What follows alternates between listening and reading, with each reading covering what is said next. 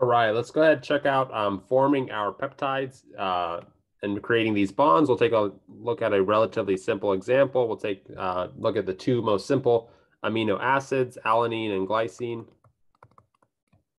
Right, we've got our amine, we've got our alpha carbon with our R group. In the case of alanine, it's just a methyl. And then, of course, the carboxylic acid. And then for glycine, again, we've got an amino acid. So there's the amine, the alpha with the R group. In the case of glycine, the R group is just a hydrogen, so even simpler. And then, of course, the acid.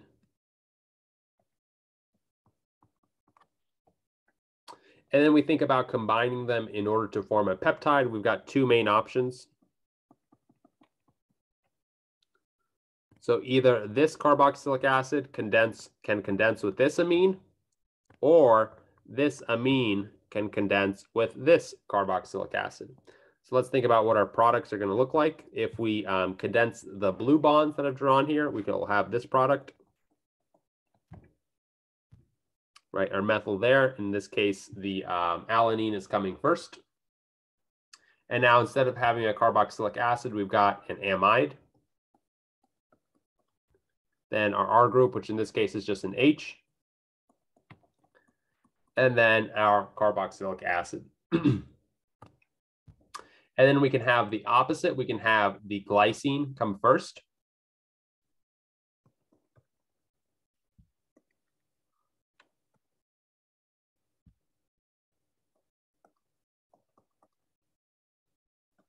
And then the alanine with its methyl. And then the carboxylic acid. So in this case, again, right, we have alanine here and then with the hydrogen glycine. So here we've got alanine, then glycine. And then on the other side, we've got glycine and then alanine, right? Again, glycine with the hydrogen and then alanine with the methyl. So you'll notice that I've actually drawn them in the same orientation, and this is by convention the way that we draw them. So by convention, it always goes from the N to the C terminus. And so the N refers to the amine, so that's the N terminus. And then the C refers to the carboxylic acid, so that's the T or the C terminus. Right, and then same thing, here's the N, here's the C, and it goes from N to C.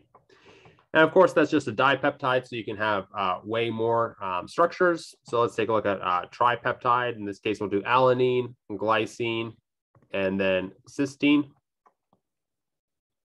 So we'll start off by just drawing an amine, because that's what's going to show up at the N terminus.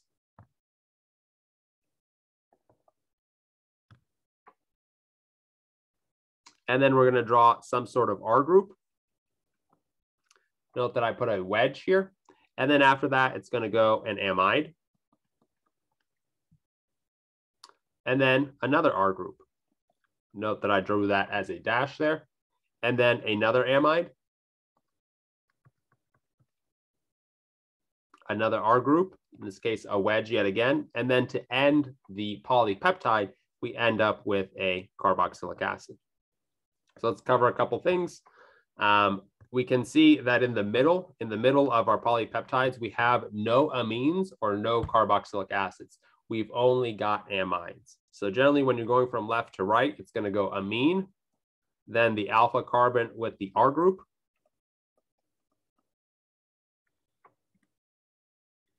So there's the alpha carbon with R group, alpha carbon with R group, alpha carbon with R group.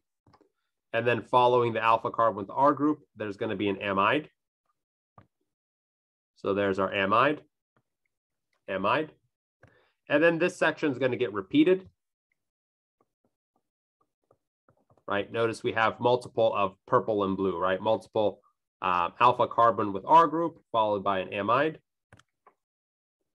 And so that'll get repeated again and again and again until you reach the end of your polypeptide. And on the end of the polypeptide will be a carboxylic acid.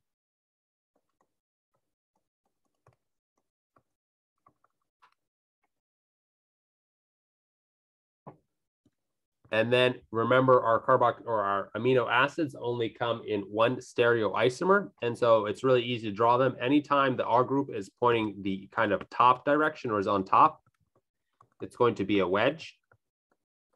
And anytime it's down here on the bottom, it's going to be a dash. And then finally, the last thing you have to do is replace these R groups with um, whatever they are. So let's get rid of these R groups, recolor it purple. And then in this case, alanine is just a methyl, so that just stays as just a CH3. Um, glycine is even simpler, that's just a hydrogen. So in this case, we actually don't need a wedge or a dash because that's not a stereo center. And then cysteine is a uh, carbon and then an SH group. So it looks something like that. So just get used to kind of drawing polypeptides. This will obviously be some kind of question on the exam or whatnot. Um, and then one thing to kind of note here is note that both the amine and the carboxylic acid only show up at the ends. It's the um, amides that show up in the middle. So we'll just say only show up on ends and the rest are converted to amides.